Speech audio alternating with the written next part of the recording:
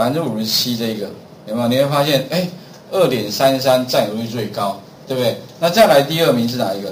四点零三啊，也就是说，其实你会发现两极化发展，也就是说，现在大部分买手机的，要不你就买稍微旧一点点的，可能是它是给你二点三三的，好到二点三七，那你比较新买的，哈，你可能就是一拿来就是四点零的，甚至呢，哈，像新的我最近又升升级成四点一了，哦，四点零跟四点一差差一点点而已啦，你几乎感觉不到。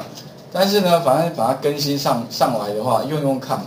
所以我的手机有两只，而不止两只啊。其实我手机我有三只，平板我有我有两只啊，好像是呃对，Android 的哈。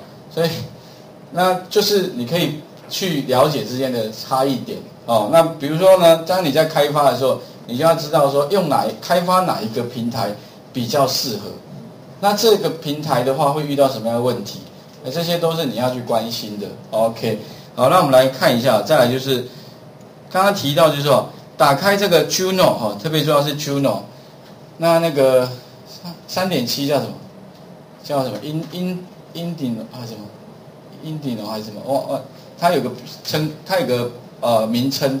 那如果说我们今天要下载语系的话，你要知道你这个版本的语系档的名称。好，所以接下来呢，我怎么下载语系档？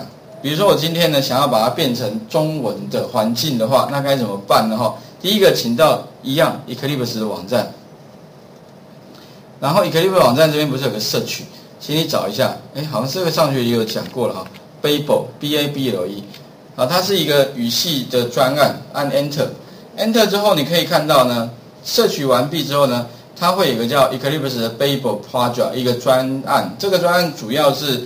在解决语系上面的问题，哈，所以呢，这边有个 download，请你找 download，download 下 download 的地方呢，往下找，它会有出现呢，哈，它一个 package z 打包档，and United States 哈，这个呃有英文的，也有各国语系，那里面的话，一啊这边有 Indigo，Indigo 就是三点七的版本，好，然后还有什么，黑黑。Helio Helio 呃，Helios 哦，Helios 的话是三点六的版本，也就是它每一个版本都有每个版本的称号，但是它这里不会显示什么，这个是三点七，这是三点六，这是四点二，那你要怎么办？你要自己记得啊，要不然的话你下载错误的语系档，哎，它也不行啊。所以呢，特别注意哦，Babel 搜搜寻一下，对，找到那个 download 那个连接之后呢，就找什么 Juno。有没有？它这边有个 Babel Language，就是语系的打包的 ZIP 档。那我们呢就找到什么 Juno，好，记得不要点错哦。那如果说你要三点七的，你再去找。